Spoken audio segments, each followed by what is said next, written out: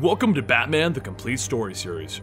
We're going to begin our tale with the prequel game, Batman Arkham Origins. While this wasn't made by Rocksteady, it does ramp up into the entire tale that is the Batman Arkham series. It also brings us the beginning of this universe.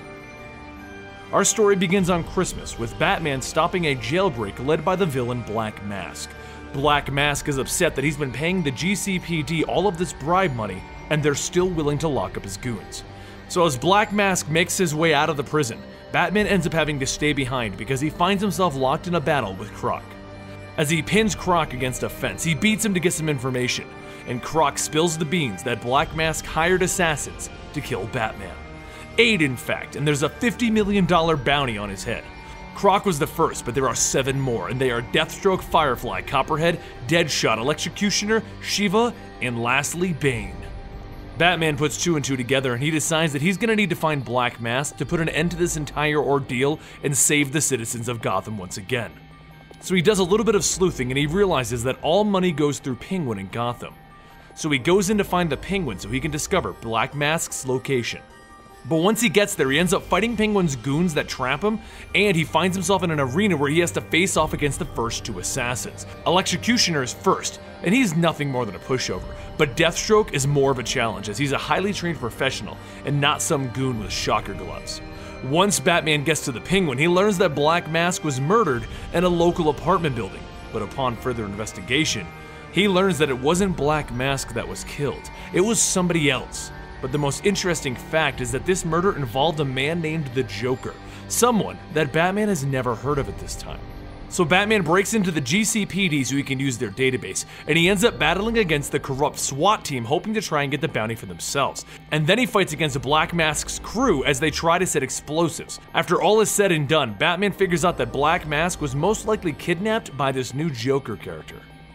So he chases down the guy wearing the black mask to the local bank and he corners him while he's pulling away in a truck. Then the man in the black mask removes the mask, revealing that it is actually the Joker in disguise. He's kidnapped Black Mask, like Batman thought, and took control of his entire criminal empire days ago. Batman chases them down to the local steel mill where he frees Black Mask and he defeats the fourth assassin, Copperhead. But he doesn't lose the trail there as he follows the Joker to the Gotham Royal Hotel, where he discovers that it's actually being used as Joker's HQ. The Joker has murdered the staff and shut down the hotel by filling it with his goons. But as Batman gets to the top, he overhears the Joker arguing with the remaining assassins that they have failed and they need to kill Batman right now. As they all leave to go looking for him, Bane decides to stick around because he thinks Batman is probably on his way here. The Joker himself makes his way to the roof, and Batman would have stopped him Except Bane was right and begins to battle Batman on the rooftop.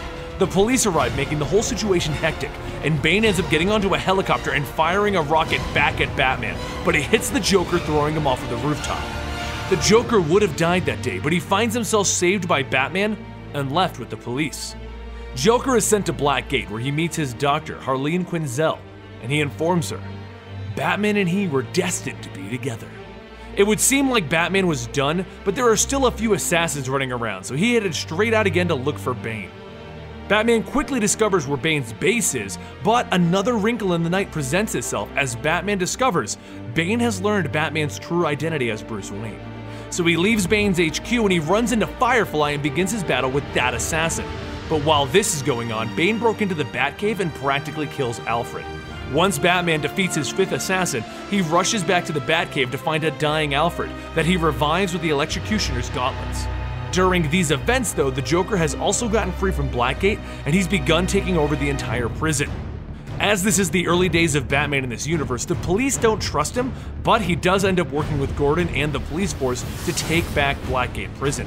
Once he gets there, he finds that the Joker has not only taken control, but he's also devised an evil plan. He himself is sitting in an electric chair, wired to Bane's heartbeat. So Batman has to pick either Bane or the Joker to live. Batman comes up with a plan to stop Bane's heart, and once the Joker gets up from the chair, he uses the gauntlets once again to revive Bane. But Bane is rather pissed about all of this, and he hulks out on an extreme amount of venom, the substance that gives him his insane strength. Batman then battles against Bane one last time, but as a side effect from his drug, he suffers from amnesia, once again hiding Batman's true identity. Batman actually gets back on the case by chasing the Joker to the prison chapel, where the Joker is rather upset that Batman didn't actually kill Bane, so he taunts Batman into trying to get him to kill the Joker. But Batman just knocks the Joker out and turns him over to the police. Gordon finally realizes that Batman isn't a villain, and he lets him walk while locking the Joker up. And that's where the universe began when Batman met Joker. It's almost like a love story, if you ask me. Next up is Batman the Blackgate game that came out on Vita first and eventually came out to all the other consoles. I'm Benny for Eligible Monster, and I'll see you guys next time right here.